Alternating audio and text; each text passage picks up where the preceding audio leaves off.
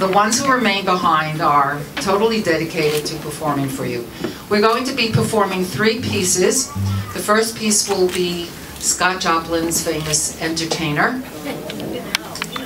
And the second piece will be the Pachelbel Canon, which I will uh, briefly tell you something about. I'll tell you about it now so that I don't have to pick up the mic again.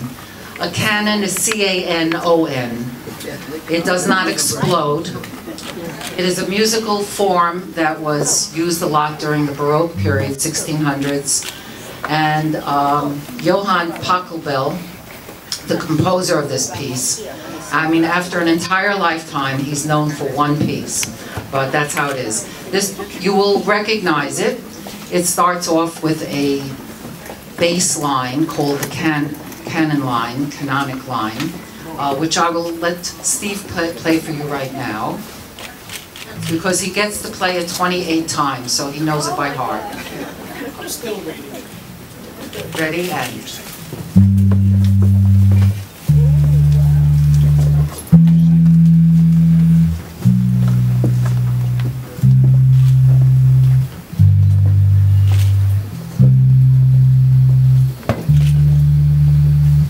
Thank you. That is a bass guitar.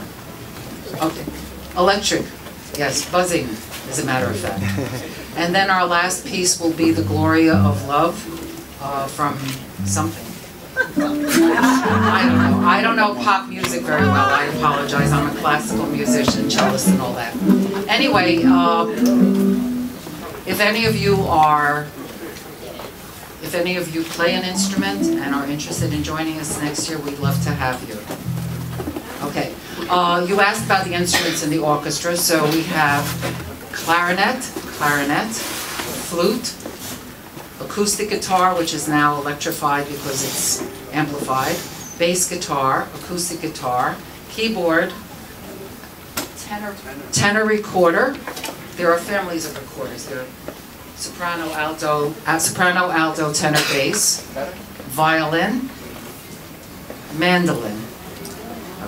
So we have quite an assortment, and uh, as you may or may not realize, there is no such thing as arrangements for a group like this.